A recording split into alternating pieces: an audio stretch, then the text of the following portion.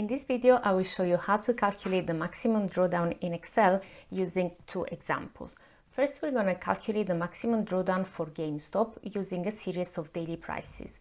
In the second example, I'm going to show you how to calculate the maximum drawdown for a portfolio, where we don't have a series of prices, but we have series of returns. So let's see how it's done. The maximum drawdown measures the maximum fall in value for an asset over a certain period of time and is calculated as the ratio of its lowest point or lowest trough divided by its highest point or highest peak minus 1. Maybe this sounds complicated, but it's not, I promise. Let's see it graphically. In this chart of the Standard & Poor 500 that runs from the beginning of 2020 to today, you can see that the higher peak was reached on the 19th of February 2020 at a price of 6,886, while the lowest point is on the 23rd of March 2020 at 4,559. If we take this value, 4,559, divided by the peak, which is 6,886, and subtract 1, we'll see that the maximum drawdown is minus 34%. So how do we calculate it? Let's see with example number one. First thing I'll do is to download the series of daily prices from Yahoo Finance. So I'll type GME and go to historical and then click on download. By default, this gives me daily prices for the last year. In this Excel spreadsheet, I will get rid of the data I don't need so that I just have the date and the close price adjusted for dividends. Let me plot a graph to show you what we're trying to calculate so that you can get the intuition first. Select these two columns with the dates and prices. Click on the Insert tab at the top and then on the 2D line doodle. From here, select the first line chart. As you can see, this stock has been a wild ride last year, and it's clear that the maximum drawdown happened somewhere in February of this year, when it dropped from a price of around 350 all the way down to $40. This is definitely the biggest fall in value over this time period. So now what we will do is to build a formula that will automatically calculate that drop in value for us. Go to C1 and name this column drawdown.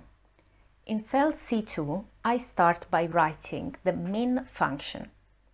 I write min and then open parentheses and then starting from the second observation in my sample, so from the second price in my series, I will select all the data I have, making sure that I leave the first price outside. Using the F4 key, I will lock in place the cell with the last observed price, which in my case is B254.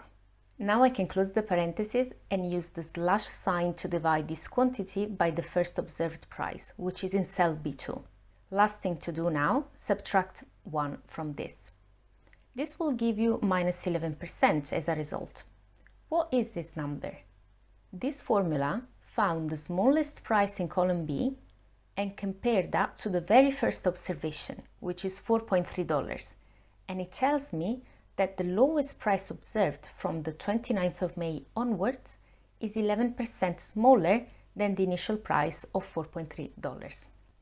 And this is very true because even if you can't really see it from the graph because the scale is too wide, GameStop had a price of $3.85 towards the end of July 2020. $3.85 is exactly 11% lower than the initial price of 4.3. Now the beauty of this formula set up in this way and with the correct cells locked is that it can be dragged down very easily. Just double click on the lower right corner when you see a thin black cross. So now we have a series of drawdowns with a dynamic start date. If you click on C3, you will see that the initial price is not 4.3 anymore, is now 406 and so on. Since I locked the last cell, which is B254, my dataset will not shift down when I drag my formula. Now we need one last step to find the maximum drawdown. I will type in cell D1 maximum drawdown and I will calculate it in cell D2. This will just be the min function applied to the data in column C because in column C I have all these losses in value and I want to pick the biggest one.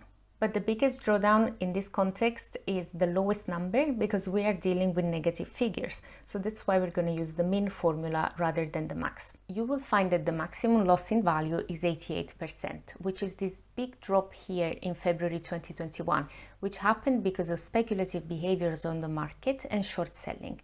I did make a video on that. I will link that in the description box below. So now we know how to find the maximum drawdown for stocks and indices, but how do we find it for a portfolio where we don't have prices, but we have a series of returns? The procedure is very similar. I'm going to show you how it's done in a second. The only extra step that we have to take is to calculate cumulative returns first. In this spreadsheet, I have monthly returns for a multi-asset portfolio going back to 2017. Let's try to plot this.